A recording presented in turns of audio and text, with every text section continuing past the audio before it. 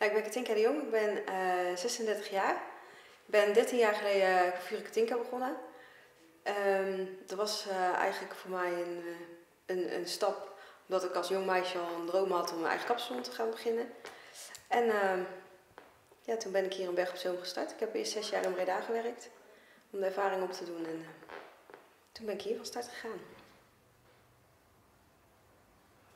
Um, ja, het was geen kapsalon, dus het was gewoon een bedrijf wat, ja, het pand stond al drie jaar leeg.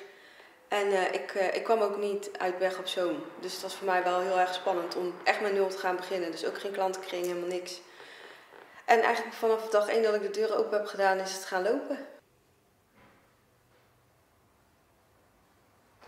Ik denk echt de aandacht die ze hier krijgen. Uh, wij hebben een heel ruime planning. in een andere salon bij binnen een half uurtje, zeg maar, sta je weer buiten. En bij ons zit je drie kwartier binnen, minimaal. Dus je krijgt echt gewoon aandacht. En ik denk dat nu de tijd gewoon heel erg is. Dat mensen gewoon echt als ze ergens komen en ze moeten ergens voor betalen, dat ze ook echt aandacht willen. En niet dat ze ja, weer heel snel buiten staan. Um, we hebben hele ruime openingstijden. Um, we beginnen s morgens om half negen en sluiten s'avonds om zeven uur. En op woensdag zijn we er tot negen uur. Um, wij doen ook heel veel uh, trainingen. Dat is meestal op onze vrijdag. Dus op zondag of op maandag gaan we naar een, een merk toe waar we voeren. En daar krijgen we trainingen van. Dus dat komt er altijd bij kijken. Natuurlijk een stukje administratief. En uh, wij doen ook met andere bedrijven, geven wij ladies nights of modeshows. Of... Dus we hebben ook buiten de salon dat we ook nog een stukje ja, out of the box kunnen denken, zeg maar. Dat je niet het geëikte ja, haren doen, doet, zeg maar, maar dat je even gewoon los kan gaan met een beetje aparte kapsels of make-up. Ik laat altijd wel, uh, ik wil op zo'n avond gewoon dingen laten zien die draagbaar zijn. Want ja, daar, daar kan ik dan ook weer uh, mensen mee triggeren dat ze zoiets hebben van, oh, dat zou ik ook wel willen. Om nou helemaal los te gaan of hele wilde dingen te doen, dat, dat vind ik op zo'n avond, als je hem zeg maar intiem hier in de zon houdt, vind ik daar niet, ja, niet nodig. Heb twee meiden bij mij in dienst. Eentje die werkt er 13 eh, jaar en de andere 9 jaar. Ja, ja dat was uh, uh, toen ik hier begon, dus in augustus geweest. Toen heb ik twee maanden alleen gestaan. En in die twee maanden kwam ik heel snel achter dat dat gewoon niet gaat. Ja, weet je, je bent met een klant bezig, maar dan moest je weglopen voor de telefoon. Dan moest je koffie gaan zetten, je moest opruimen. Uh, ja, ik kon niet de aandacht geven aan de klanten die ik wilde geven. Dus toen uh, dacht ik van, nou, dan moet er gewoon een meisje bij komen, een jong meisje. En uh, ja, dan, dan zie ik wel. Maar meiden van 15, 16 jaar, die zijn gewoon niet zo gemotiveerd, zeg maar. Dan moet je echt heel veel energie en heel veel tijd in stoppen. Dus ik heb in de, eerste weken heb ik echt wel verschillende meisjes gehad dat het gewoon niet klikte en dat niet ging. En toen kwam dan uh, de ene meisje bij mij werken en ja, die werkte nu 13 jaar.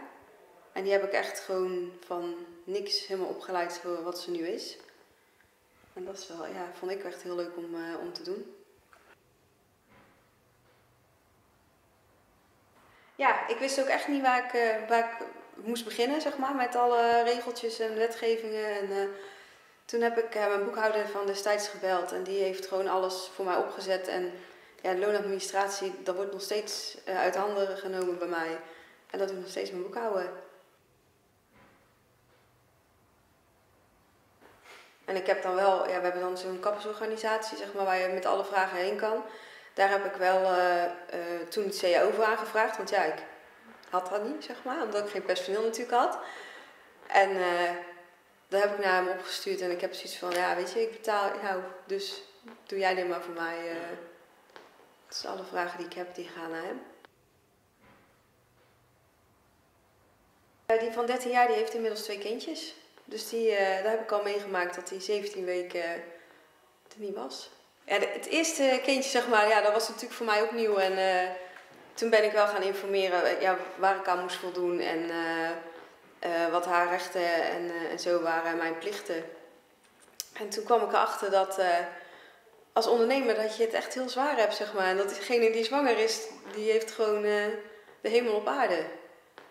En ehm, ja, ze zijn gewoon 17 weken uit je bedrijf. Oké, dat wordt dan wel door het UWV overgenomen, die kosten.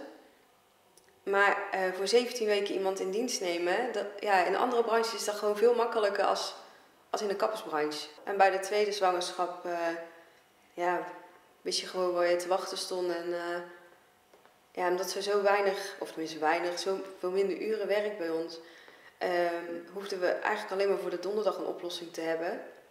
Maar ja, die heb ik gewoon op me genomen dat ik dan die donderdag alleen heb gestaan, die 17 weken lang. Ja, en dat ging eigenlijk prima. Uh, wij gaan uh, ieder jaar, nou, ik denk wel zeker zes tot acht keer, gaan wij trainingen volgen buiten de deur.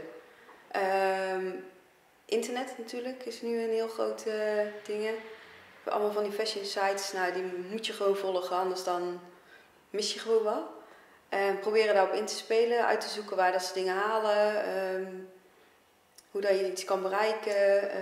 ja, echt wel gewoon dagelijks ermee bezig zijn. En dat is, vind ik ook wel fijn om met jongere meiden te werken. Die zijn daar gewoon veel um, makkelijker in om dat allemaal te ontdekken.